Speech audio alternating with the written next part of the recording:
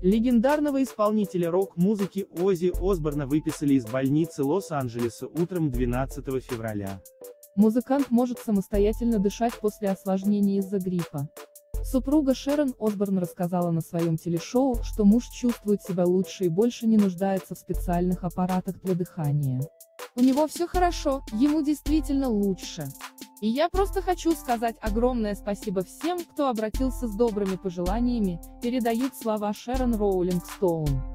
Врачи госпитализировали Оззи Осборна на прошлой неделе. Музыкант страдал от инфекции дыхательных путей и опасался, как бы болезнь не переросла в пневмонию. Теперь переживания позади. Из-за болезни Оззи Осборну пришлось отменить турне с Джудас Прист. Музыкант планирует вернуться на гастроли в марте и провести концерты в Австралии, Новой Зеландии, Японии и США. Европейский тур, который был отменен, артист перенес на осень.